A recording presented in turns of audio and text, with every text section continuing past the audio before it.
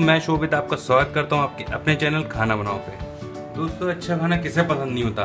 But जब अच्छा खाना घर पे ना मिले तो हम लोग अक्सर रेस्टोरेंट के चक्कर लगाने लगते हैं। चलिए दोस्तों, आज मैं एक ऐसी डिश लेके आया हूँ जिसके लिए आपको रेस्टोरेंट के चक्कर नहीं लगाने पड़ेंगे वो रेसिपी आप आसानी से अपने घर पर बना सकते हैं। और उस रेसिपी का नाम है मलाई कोफ्ता। जी हाँ मलाई कोफ्ता बनाने जा रहे हैं हम आज।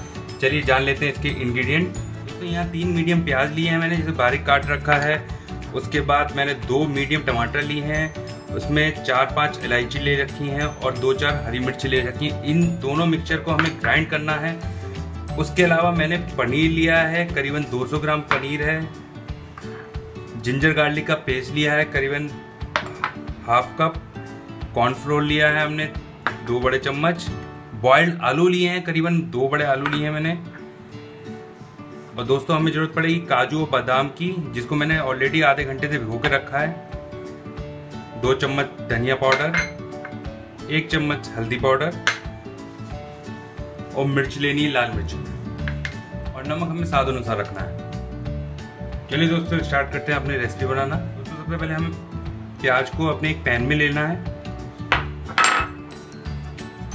और इसी में हम अपने टमाटर और इलायची मिर्च जो हमने ली थी, वो भी डाल देनी है।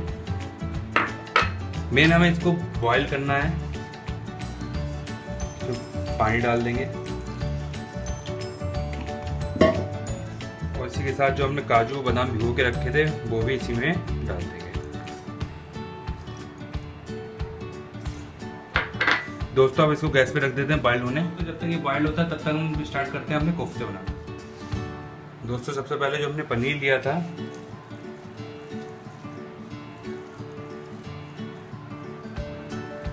उसको अच्छी तरह बारीक तोड़ लेंगे। ध्यान रहे दोस्तों, इसका पानी निकल जाए, ज़्यादा पानी ना रहे इसमें। अगर आपको लगता है इसमें पानी है तो इसको हाथ से निचोड़ सकते हैं।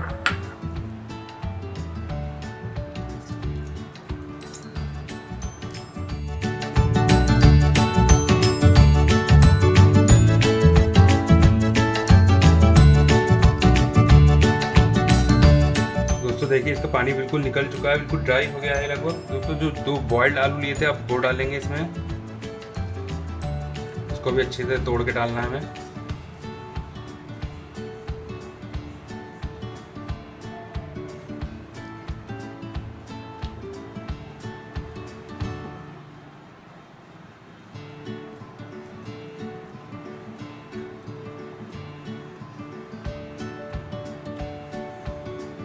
इसी के साथ साथ जो कॉर्नफ्लोर लिया था हमने,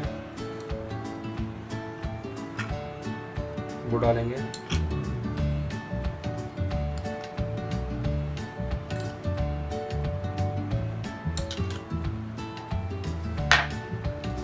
धनिया पाउडर नमक डालेंगे हल्का सा, और लाल मिर्च पाउडर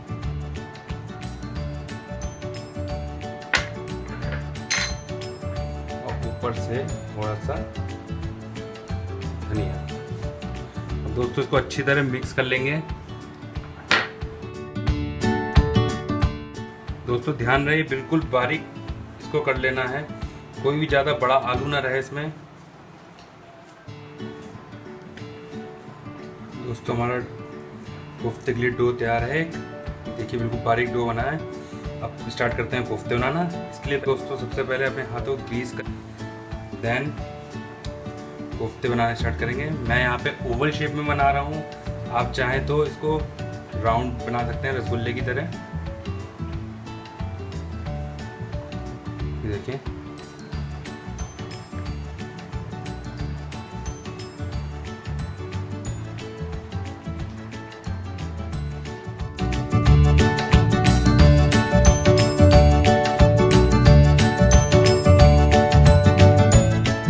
दोस्तों, कोफ्ते तैयार हैं। फ्राई होने के लिए चलिए बिना देरी करे इसको फ्राई कर लेते हैं। इसके लिए तो कढ़ाई में तेल डाल लिया है ना गर्म भी हो गया अच्छा खासा। और इसमें कोफ्ते हम हल्के हल्के डाल लेंगे।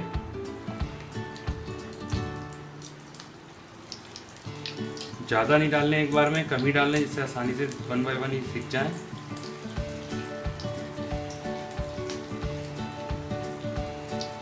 इसको हल्की आँच पे देखना है, ये ना हो कि ऊपर से तो ब्राउन हो जाए, लेकिन अंदर से कच्चे रह जाए। तो हमें आँच हल्की रखनी है गैस की।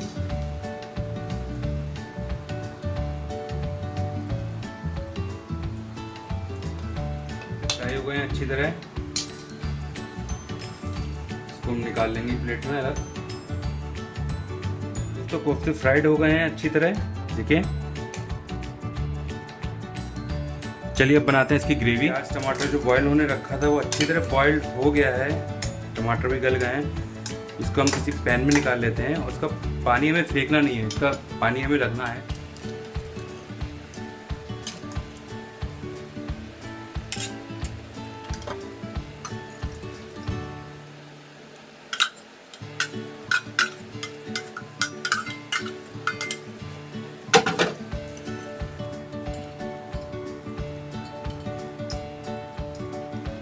देखिए उसको बिल्कुल पानी निकाल लेना है।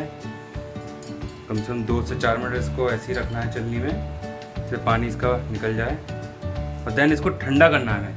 इसको ठंडा करके ही पीसना है नहीं तो किसी का जार खुल जाएगा। इसलिए हमें ठंडा करना है, इसको पहले फिर पीसना है। तो उससे ठंडी हो गई है। अब नंबर इसको पीसने का। ग्राइंडर में ले लेंगे इसको। ग्राइंडर में डाल लिया उसमें थोड़ा सा जो वेजिटेबल स्टॉक निकला था मैं वो यूज़ कर रहा हूँ मैं यहाँ पे। चलिए इसको पीस लेते हैं। तो ये पिस गया है बारीक, अच्छी तरह। इसको एक बाउल में निकाल लेंगे। ग्रेवी बनाने के लिए दोस्तों सबसे पहले कढ़ाई रखी है। तेल डाल लूँगा इसमें।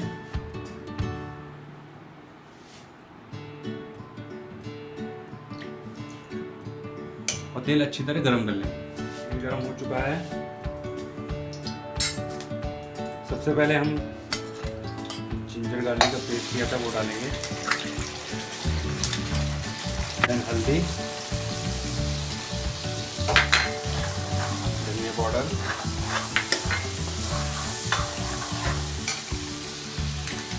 लाल मिर्च पाउडर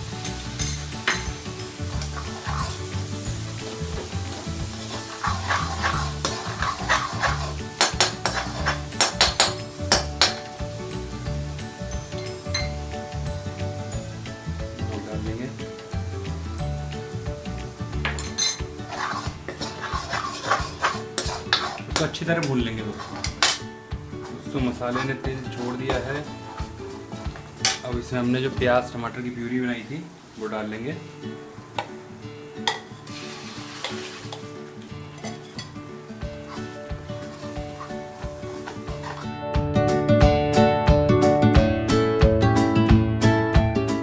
इसमें दोस्तों हमारा जो वेजिटेबल स्टॉक बचा था, वो डाल देंगे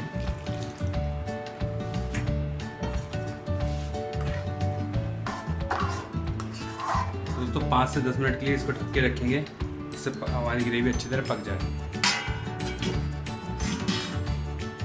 दोस्तों, एक से दो कॉल आ चुके हैं। चलिए, अब इसमें हम डाल लेते हैं क्रीम जो हमने एक बाउल ली है, पूरी डाल लेंगे।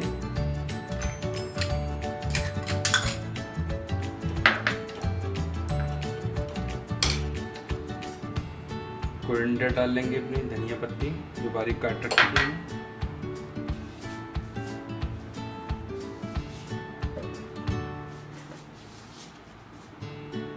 दोस्तों, करीबन हाफ़ टेबल स्पून गरम मसाला।